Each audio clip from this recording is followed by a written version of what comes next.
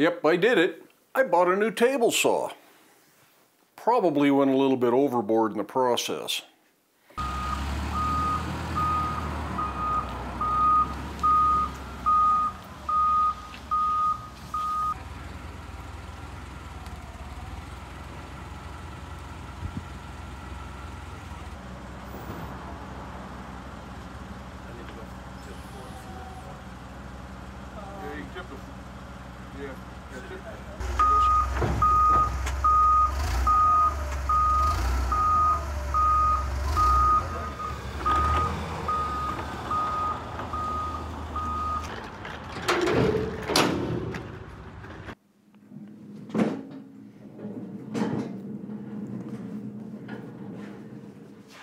Now this isn't going to be just another unboxing and setting up your table saw video, but I thought I would discuss why I chose to invest heavily in this particular saw instead of buying a more budget-friendly saw.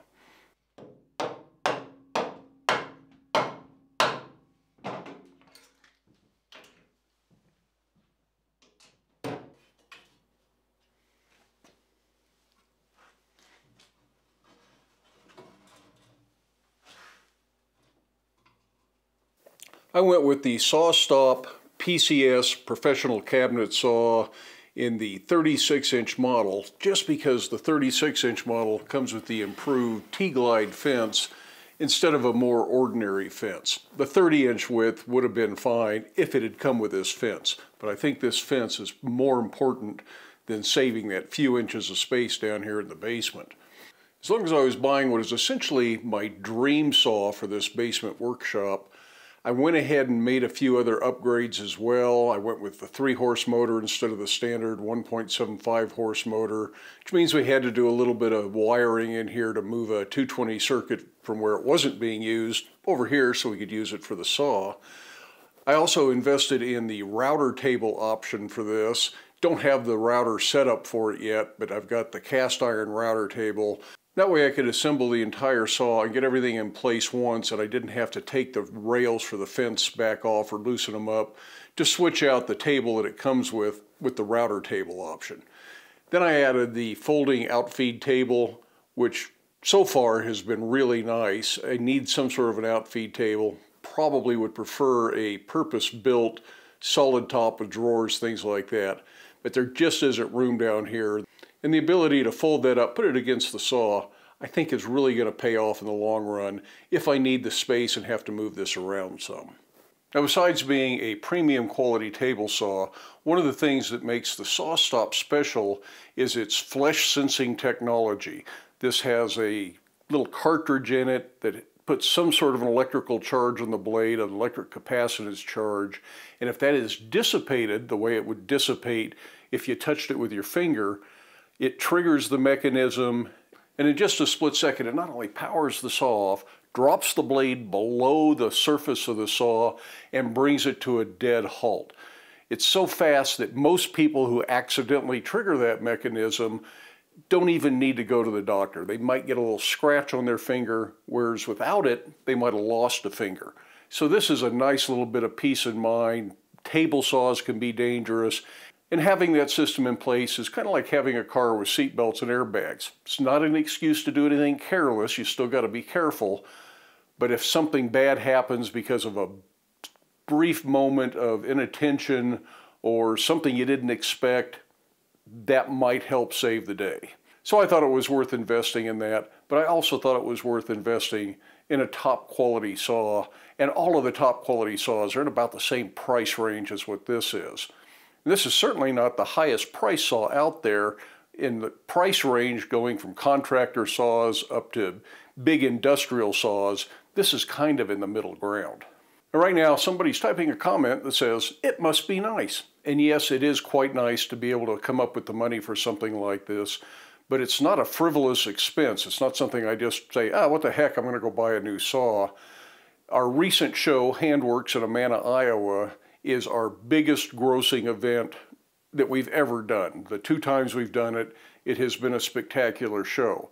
And originally when we decided to go this year, I thought, you know, I'm not going to stress out over it. I'm going to take what I have ready, make a few things special for it. and just relax and enjoy the show. But then I started thinking about this shop, some of the projects that we have planned, and some of the things that have not been getting done around here that I really need to get done. I decided that was my opportunity to work extra hard, get more things ready to go to that show. So two months leading up to that show, I put in some really long, hard hours making things that I thought were likely to sell. I had things that we have made for some of the videos in the blacksmith shop over the last two or three years that were just being stored. There were things that I knew I would be able to sell, but I hadn't tried to sell them yet. Axes, adzes, door hardware, hinges, things like that. And all of that stuff went to Handworks, so I had a really large volume of things that potentially could have sold. Didn't sell out by any means, but I sold enough to cover the show expenses and to cover the price of this saw. That was about it. There's no money going into the bank from that show, and it would have been really nice to put some money in the bank to carry us through the winter. But I figure if I didn't make the investment when the money was available, I might not be able to do it later, or it might have to wait till the next time a show like that came up.